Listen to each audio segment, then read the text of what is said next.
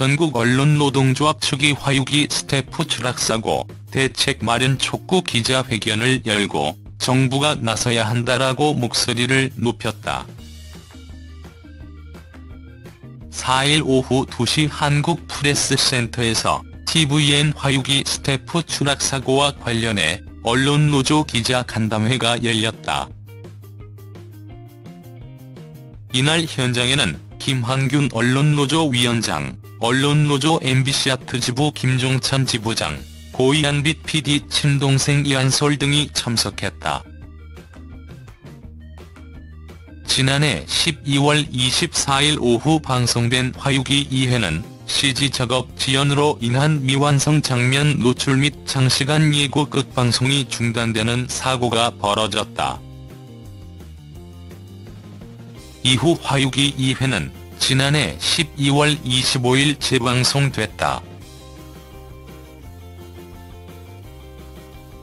tvN 측은 3회는 정상 방송하고 4회를 방영 예정일보다 일주일 뒤로 연기하겠다며 수습에 나섰으나 이튿날 오후 화유기 미술 노동자 추락 사고가 벌어졌다는 소식이 뒤늦게 알려져 논란이 커졌다.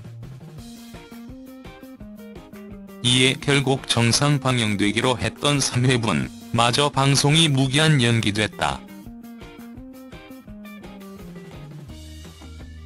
tvN 측이 최소 일주일 이상 방송을 연기한다고 밝힌 가운데 방송 재개 일정 등은 미정이다. 당장 오는 6일과 7일 방송 여부도 불투명하다. 언론 노조 측은 화유기 스태프 추락 사고에 대해서 설명하며 무리한 편성에 따라 장시간 노동이 반복됐다. 보통 새벽 4시까지 근무했고 사고 당일도 아침부터 새벽 1시까지 근무했다. 장시간 노동에 따른 피로도가 높았다라고 말했다. 이어 현장에서는 제대로 된 설계 도면도 없이 부실한 자재 즉 사람의 하중을 견디지 못하는 부실한 자재로 시공을 했다라며 원인을 설명했다. 김한균 언론노조 위원장은 이 사건의 본질은 방송 제작 현장에서의 안전사고에 경각심을 가지는 것이다라며 그동안 단 한 번도 사회 문제화되지 않았지만 알게 모르게 많은 스태프가 다쳤고 심지어 목숨까지 잃었다라고 말했다. 이어 김 위원장은 많은 사람들이 이 사건과 관련해서 드라마가 제작되느냐 하는 것에 관심을 가지는 것을 알고 있다. 하지만 이 기자회견은 화유기 제작 중단이 목적이 아니다. 이번 사태를 계기로 방송 현장에서의 안전 불감증 대책을 마련해야 한다. 재밌는 방송 뒤에서 보호받지 못하는 노동자들, 그들도 국민이고 보호받아야 한다라고 주장했다. 그는 고용노동부가 촬영 중단을 요청했다는 오보가 있는데 그런 적은 없다. 고용노동부에서 촬영 중단을 요구할 수 없다는 것도 사실이 아니다. 법령에 따르면 중단할 수 있지만 요구한 적은 없다라고 설명했다. 실제 화유기는 사고 후에도 계속해서 촬영을 이어오고 있다. tvN 측은 현장에 PD 한 명을 더 투입해 촬영을 진행하고 있다. 언론 노조 관계자는 화유기 측에서 인력 보강을 한다며 새 PD 한 명을 투입해 인력 보강을 했는데 이것으로 부족하다. 충분한 안전 대책이 마련되기 전까지는 작업을 중지했으면 했지만 현재 작업은 계속되고 있다라고 밝혔다.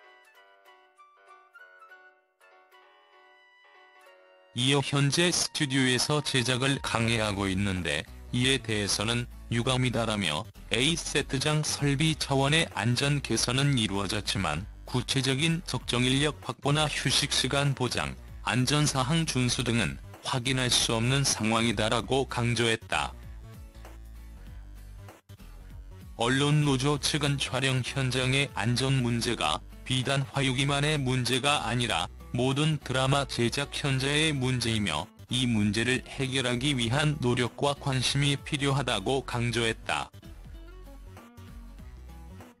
노조 측은 방송 현장에서 많은 근로자들이 철야를 하고 긴 시간 근무한다라며 우리가 화유기 촬영장 조사를 하러 갔는데 조사 때문에 쉬게 되는 그 짧은 시간 동안 스태프들이 아무렇게나 쓰러져서 자더라. 방송 제작 환경 개선이 시급하다라고 말했다. 이어 CJ가 무거운 책임감을 느끼고 개선에 적극적으로 나서야 한다. 이번 사건에 대한 추가 대책도 강구해야 한다라며 현장에 가서 보니 너무나 열악하다. 각종 인화 물질들이 세트장에 널려 있고 사람이 어디로 다녀야 할지 모르겠더라. 화재가 나면 빠져나올 수가 없다라고 설명했다. 또 드라마의 제작 관행과 시스템을 바꿔야 한다. 한 제작사나 방송사업자 문제가 아니라 정부와 문체부 등이 함께 논의해서 이 문제를 개선해야 한다라며 끝으로 정부와 CJ 제작사인 JS 피처스 하도급 업체인 MBC 아트에 요구한다. 사고 원인 규명과 재발 방지 대책을 마련하라. 책임을 규명하고 책임을 물어야 한다.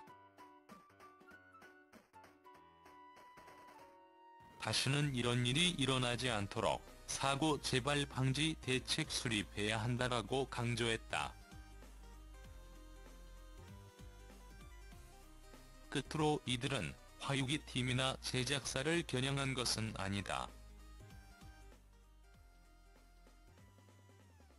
비단 화유기만의 문제는 아니다.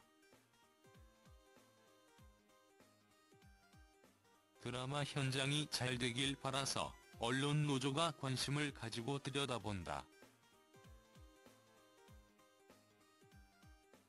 이 문제가 방송 제작 현장의 문화를 업그레이드 시키는데 기여할 수 있도록 범정부 차원의 드라마 제작 현장에 대한 긴급 전수조사를 요청한다라고 전했다.